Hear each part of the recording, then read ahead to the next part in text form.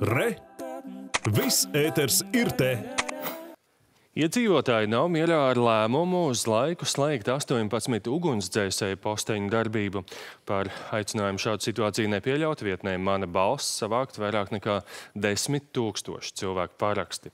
Latvijas ugunsdzēsēju arotbiedrība informāciju par savākto parakstu skaitu nosūtījusi arī valsts prezidentam un saimai, lūdzot risināt krīzes situāciju ugunsdzēsības un glābšanas dienestā, kas radusies nepietiekam finansējumu dēļ. Ugunsdzēsības un glābšanas dienestā pašlaik trūkst vairāk nekā 500 darbinieku. Tas kolektīvais ieteikums kā tāds ir tendēts um, uz finansējumu palielināšanu, ka nu, ir krīze, esam krīzes situācijā un valsts ugunsdzēsības un glābšanas dienas, nespēja izmaksāt uh, ne virsstundas, ne arī pagaidām uz doto brīdi palielināt uh, amatpersonu skaitu, jo algas ir par mazu. Ugunsdzēsēja arotbiedrība pauž, ka tieši nepietiekamā finansējuma dēļ ir apdraudēta valstī svarīgu funkciju izpilde.